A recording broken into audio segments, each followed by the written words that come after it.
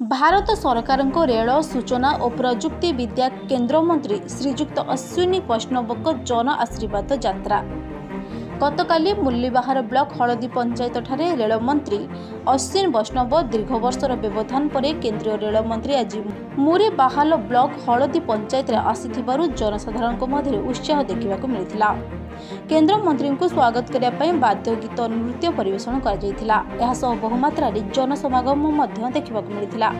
ପ୍ରଥମେ ସେ ଟିଟଲାଗଡ଼ଠାରେ ପହଞ୍ଚିଥିଲେ। ଏହାପରେ ଟିଟଲାଗଡ଼ର ଅନ୍ୟ ଏକ ପରିଚୟ ଏହାର ରେଳ ଜଙ୍କସନକୁ ନେଇ କହିଲେ ଅତ୍ୟୁକ୍ତି ହେବ ନାହିଁ। ତେବେ ଏହି ପରିପ୍ରେକ୍ଷୀରେ ଟିଟଲାଗଡ଼ ରେଳ ବିଭାଗ ଚଳଚଞ୍ଚଳ ହୋଇଥିଲା।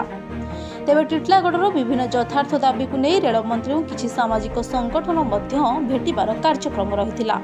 ଡିଏଭି ସ୍ୱୟଂଶାସିତ ମହାବିଦ୍ୟାଳୟଠାରେ ଏକ ବୃକ୍ଷରୋପଣ କାର୍ଯ୍ୟକ୍ରମ ସାରି ମୁରିବାହାଲ କଣ୍ଟାବାଞ୍ଜି ବ୍ଲକ ଅଭିମୁଖେ ଯାତ୍ରା କରିଥିଲେ। ଟିଟଲାଗଡ଼ରୁ ସୁବାସ ମାଝୀଙ୍କ ରିପୋର୍ଟ ନାଗାସ ନ୍ୟୁଜ୍।